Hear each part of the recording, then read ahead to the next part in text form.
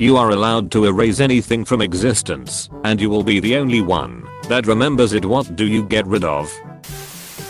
Mosquitoes. Mosquitoes are annoying, but I think I hate ticks even more. Both mosquitoes and ticks are rampant in my area during the summertime, and finding 8 plus ticks on me after a short walk to my camping site is really maddening. I can never truly be sure I've gotten them all off. I get it. I hate fleas way more than I hate mosquitoes. But mosquitoes kill more humans every year than any other animal, except humans of course.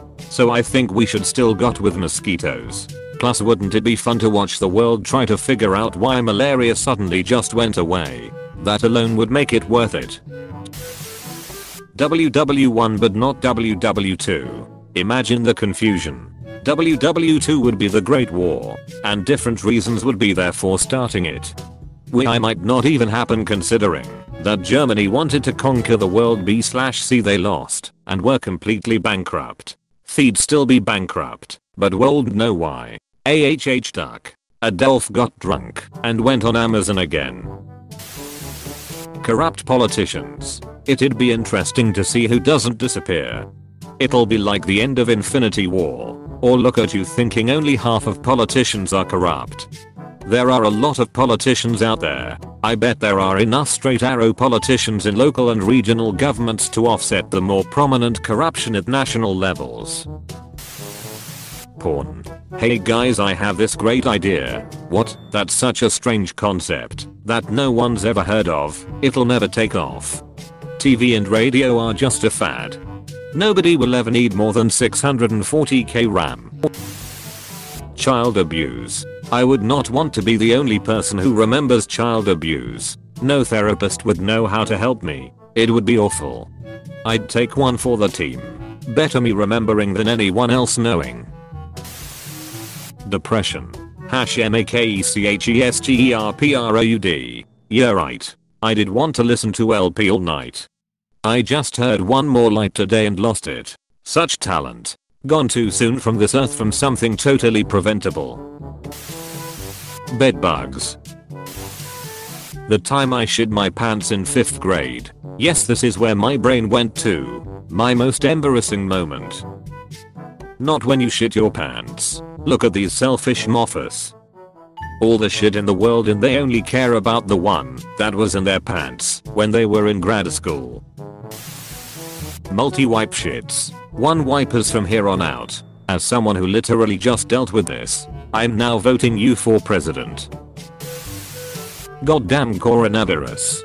Coronaviruses be looking at each other like, do you want to erase all of us or just COVID-19? Other coronaviruses be like mate. I didn't do anything. Well there's also SARS and MERS. The common cold is a coronavirus as well from what I hear. That time I said you too after the waiter told me to enjoy my nachos. Alternatively, you still say it, but the waiter takes it as an invitation and the two of you enjoy nachos together. The awkwardness is still erased. And then they start dating. Perfect romantic comedy right there. Pedophiles. Let's say that, rather than vanishing people, what goes away is any attraction between an adult and a person say 17 or younger. Like adults just aren't attracted to you until you hit a certain age. And that includes visual depictions of youths as well. Maybe before then only other young people are attracted. So people still date in high school. Can you imagine how the media landscape would change in, say, 3 years? We would stop seeing the hypersexualization of young actors. People would find even the suggestion distasteful and repellent as opposed to scandalous and intriguing. Musicians would stop preying on teenage groupies. Film and music producers would stop taking advantage of vulnerable young talent. Even having adults portraying hot 16 year olds wouldn't be a thing anymore. BC no one would find it appealing. The CWTV network would go into a tailspin BC if superpowered teenagers aren't hot anymore. What is their network even for? MTV and Freeform too. People would be able to somewhat trust churches again. I say somewhat BC adult nuns get abused too. I hate to say this, but not all child abusers have pedophilia. Neurotypicals do it because it's breaking a huge taboo and is therefore a massive power trip. Your world would be an awful lot better though. Circles. They're pointless. Lol. I see what you did there. Stands not existing in real life or cancer. Solve both problems with crazy diamond. Oh I Josuke used my stanza uh, hando oh, to erase cancer.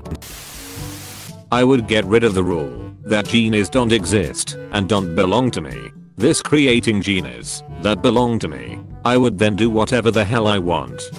This is too big brain for anyone to handle. Bose thank you. Thank you.